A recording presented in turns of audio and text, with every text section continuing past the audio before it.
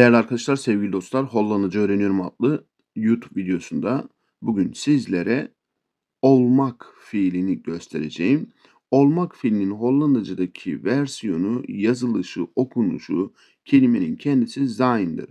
Zayn yardımcı fiili olmaktır arkadaşlar. Burada size bir cümle vereceğim. Bu cümlenin bütünlüğü içerisinde cümleyi ikiye ayırıp, iki parçaya ayırıp ne anlama geldiğini ve bir bütün cümle olarak nasıl görmemiz gerektiğini size göstereceğim. Mesela ik will, ben istiyorum, gelukkig zijn, olmak. Ne olmak? Mutlu olmak. Hemen o zaman dersimize birlikte geçelim. Dediğim gibi arkadaşlar, ik will gelukkig zijn. Ik will, ben istiyorum. Will istemek fiiliydi. Ik ben demekti. Gelukkig, mutlu, zijn, olmak. Ben mutlu olmak istiyorum. Ik will, ben istiyorum. Gelukkig zijn, mutlu olmak. Yani ben mutlu olmak istiyorum. Cümleyi bu şekilde iki parçaya ayırırsak anlam bütünlüğünü de bu şekilde görmüş oluruz diye düşünüyorum. Sevgili arkadaşlar, değerli dostlar, ders videomuz devam ediyor. Bu arada kanala abone değilseniz ya da destekli bulunmak amacıyla e, bir beğeni bırakıp bir yorum bırakıp kanalın bu şekilde diğer arkadaşlarla ulaşmasını sağlarsınız. Ik wil grappig zijn. Ik ben demek. Will, will'in yardımcı fiili istemektir. Grappig, komik. Zijn de olmak. O zaman ik wil grappig zijn. Komik olmak istiyorum. Bir diğer cümlemize geçelim hemen. Ik wil sterk zijn. Sterk zijn. Sterk güçlü, kuvvetli. Ne olmak istiyorum? Ik wil sterk. Ben güçlü. Ama burada bir olmak fiilimiz var. Zijn'dir işte arkadaşlar tam olarak. Buradaki Hollandacadaki cümle yapısı, gramer yapısı bu şekildedir. Ik wil sterk zijn. Güçlü olmak istiyorum. Ik wil eerlijk zijn. Eerlijk arkadaşlar, dürüst. Zijn olmak.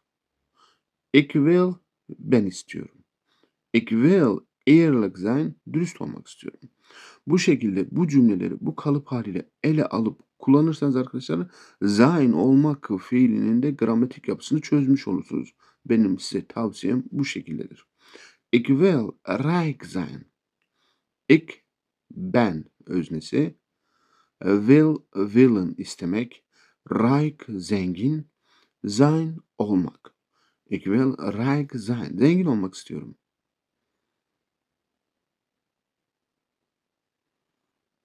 Hollandaca öğreniyorum. Nederlands leren. Burada arkadaşlar behulpzaam. Behulpzaam arkadaşlar yardımseverlik, yardımsever. Zijn olmak. Ik will behulp zijn.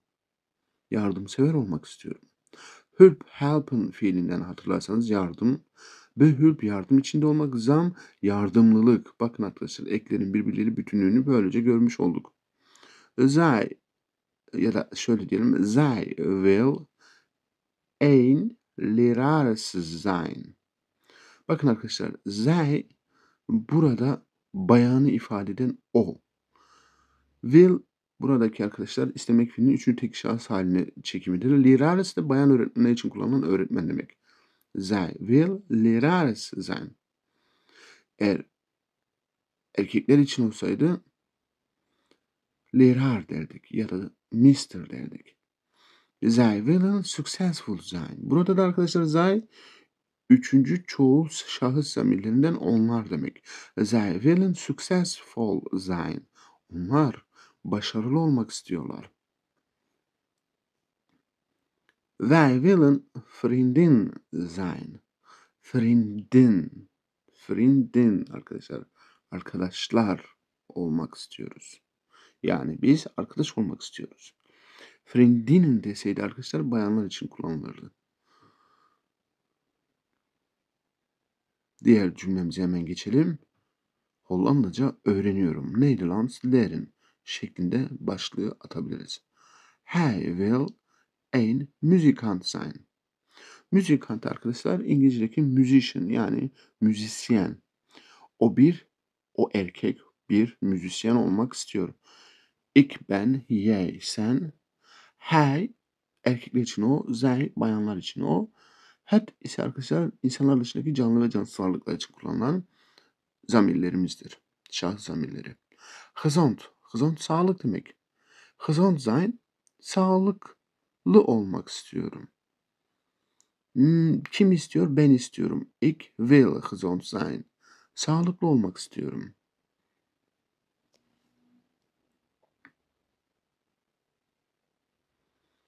Tekrardan arkadaşlar. Zij will. Bakın arkadaşlar. Zij bayanlar için kullanılan üçüncü tek şahıs zamir olduğunu nereden anlarız? Dansöz. Dansözler zaten bayanlardan çıkar genelde değil mi? Buradan da mantık sürebiliriz. Zij will een dansöz sein.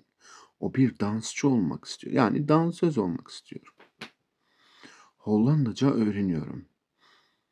Kreatif arkadaşlar yaratıcı, üretken demek. Yani yaratıcı kelimesi daha çok oturdu buna. Will kreatif sein. Ama burada kreatif arkadaşlar bir şeyi üretme adına yaratıcılıktır.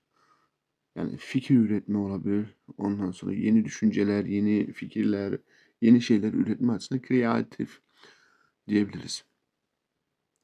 Hij will een wetenschapper zijn. Wetenschapper arkadaşlar scientist demek. Yani bilim adamı demek. O halde hij will, o istiyor. Ne olmayı? Een wetenschapper zijn. O bir bilim insanı olmak istiyor.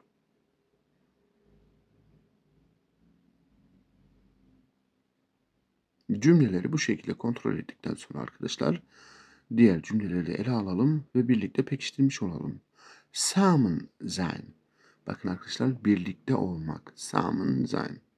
Burada bir kalıptır arkadaşlar. Günlük hayatta kullanabilirsiniz. Zij willen samen sein. Onlar birlikte olmak istiyorlar. Like'lar, beğeniler umarım ders videosunun altında görünüyordur. Hij will een brandweerman zijn. Hij will een brandweerman zijn. O bir itfaiyeci olmak istiyor. Brandweerman. Man arkadaşlar zaten orada bu kelimenin manılık olduğunu brandweerman da itfaiyeci ifadesini verdiğini görmüş olduk. Wij willen vriendelijk zijn. Wij willen vriendelijk zijn. Biz nazik, vriendelijk, dostça, nazikçe anlamını verir. Wij willen vriendelijk zijn. Biz nazik olmak istiyoruz.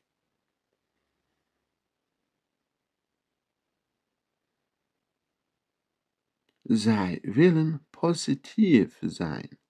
Pozitif, pozitif olmak yani olumlu düşünce içerisinde olmak istiyoruz. Daha doğrusu istiyorlar. Onlar pozitif olmak istiyorlar. Zij willen positief zijn.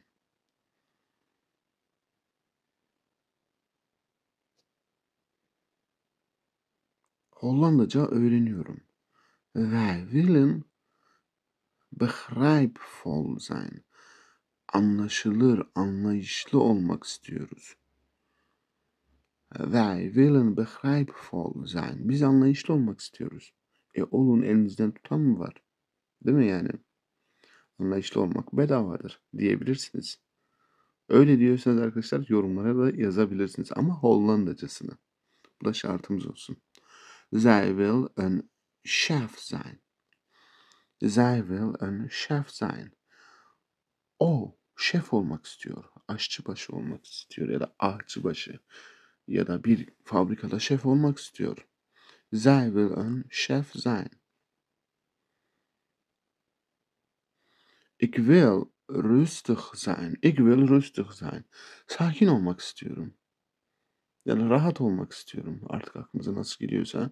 Ama ben bunu bir türlü olamadım, arkadaşlar hayatımda. Sakinlik benim yanımdan geçmeyen bir durumdur. Onun için siz olabilirsiniz. Olun. Ben olamıyorum. Ik wil rustig zijn. Sakin olmak istiyorum. Ve devam edelim Hollandaca gibi bir dil ile dans etmeye. Ik wil knap zijn. Knap arkadaşlar erkekler için kullanılan yakışıklılık durumudur. Knapper da erkeklere denilir çok yakışıklısın diye. O halde ik wil knap zijn yakışıklı olmak istiyorum. Ben zaten yakışıklıyım dostlar. Ama sizlerden yakışıklı olmayan varsa bu cümleyi kullanabilir. Bayanlar için de arkadaşlar mooi. Ik wil mooi zijn. Hey baby, jij bent erg mooi. Hey bebeğim sen gayet güzelsin dediğimizde bayanlar için mooier ya da mooi geldi zaten kelimemiz. Ik wil mooi zijn. Güzel olmak istiyorum. Bayanların hepsi güzel zaten. Bu cümle bence bayanların kullanmasına gerek yok. Evet arkadaşlar ders videosunun sonuna doğru böyle dersi kaynatan öğrenci moduna girdim. Yorumlarda uyarın beni. Ik wil een goed mens zijn. Hmm. Bir adam olmak istiyorum. Ik wil een goed mens zijn. İyi bir adam olmak istiyorum. Ben zaten iyi bir adamım. İyi olmayan adamlar düşünsün bunu. Dostlar ders videomuzun sonuna geldik. Bir sonraki derste görüşmek dileğiyle. Hollandaca gibi bir zor Hollandaca gibi zor bir dil ile dans etmek her baba yiğidin harcı değildir. Onun için burada bu ders videosunu izleyen bütün dostlarımın, bütün arkadaşlarımın, bütün izleyicilerimin farklı olduğunu, seçilmiş olduğunu bilerek sizleri selamlıyorum. Güçten, kuvvetten düşmezsiniz diye düşünerek mücadelenize, öğrenmenize devam edin diyorum. Bu benim size temennimdir. Tot volgende les.